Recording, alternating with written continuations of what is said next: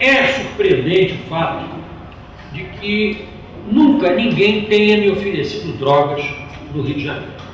Eu não sei se com vocês já aconteceu isso, mas comigo nunca aconteceu. Nunca ninguém chegou para mim na Cinelândia, ou na praia, ou em algum lugar para me vender drogas.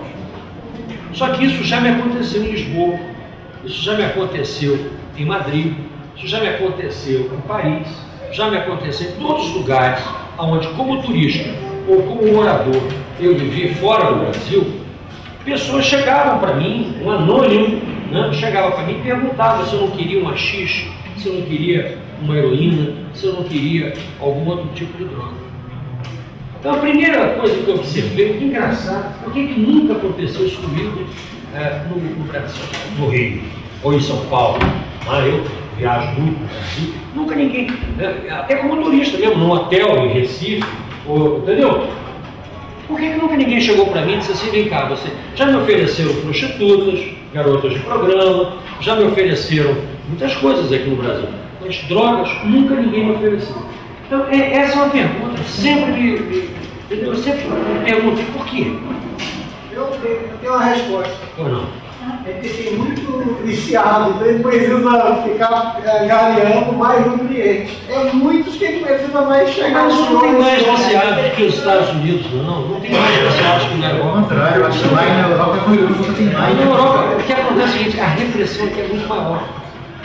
A repressão a esses mercados é muito maior. Na realidade, se a polícia ocupar a favela, nós não vamos ter contingente policial para ocuparmos todas as favelas. Não existe. Se nós não envolvermos a comunidade dentro de um projeto social, a repressão por si só não vai conseguir acabar com isso. O problema nosso aqui no Rio de Janeiro, não é a existência do tráfico de drogas. O tráfico de drogas existe em todas as grandes cidades do mundo.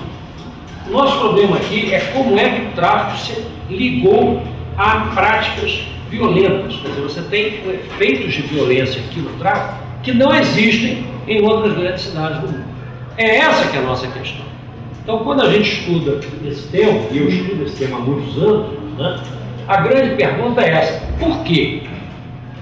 Por que, que o tráfico aqui produz tantas mortes, quando não acontece isso em outros lugares? Existe tráfico em, todo, em todas as partes, em todas as grandes cidades do mundo, né? e não existe né, é, efeitos de violência tão fortes, tão agudos como aqui. né? E nem também a- a- o conflito com a polícia chega ao ponto né, de ficarem matando policiais, como acontece aqui. né? Por que chegou a esse ponto? né? Como é que a coisa se deu? Se nós não entendemos isso, nós vamos continuar repetindo nossos erros, inclusive em outros mercados ilegais futuros que possam vir a surgir.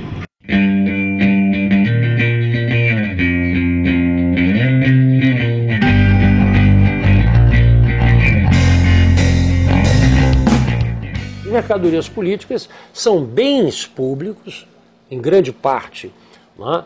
É, pertencentes à, à sociedade política, ao Estado, que são apropriados privadamente por funcionários do Estado e transformados num bem privado, numa mercadoria que vai ser então trocada por dinheiro ou favores. Essa mercadoria é política porque o seu preço, o seu valor, não é só determinado pelas leis do mercado. É, o seu valor depende de uma avaliação de correlação de forças, depende, portanto, de uma avaliação de poder entre as partes que estão fazendo a transação, né? e o preço é fixado reunindo uma dimensão política a uma dimensão econômica. É uma mercadoria? É, porque resulta de uma troca.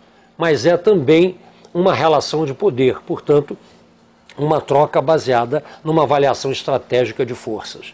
Por isso eu tenho designando esse tipo de transações de mercadorias políticas. Sabe com quem está falando? Você sabe com quem está falando? Eu trabalho dentro de uma pirâmide uma pirâmide. Eu tenho crachá, eu sou do controle. Eu tenho amizades que me ligam ao alto da torre. Eu tenho crachá, eu sou do controle. Eu tenho amizades que me ligam ao alto da torre. Você sabe com quem está falando?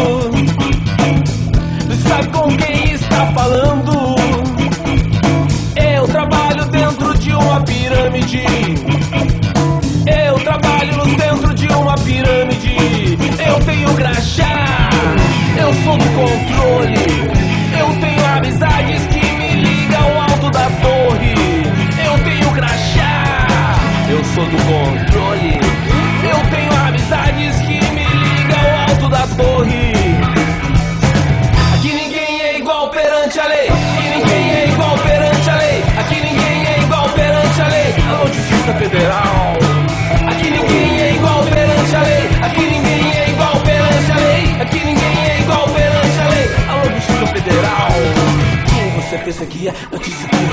Quem você perseguia? É?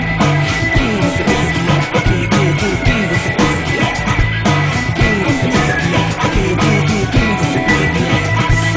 Quem você perseguia? Que, quem, quem, quem você perseguia? Você sabe com quem está falando? Sabe com quem está falando?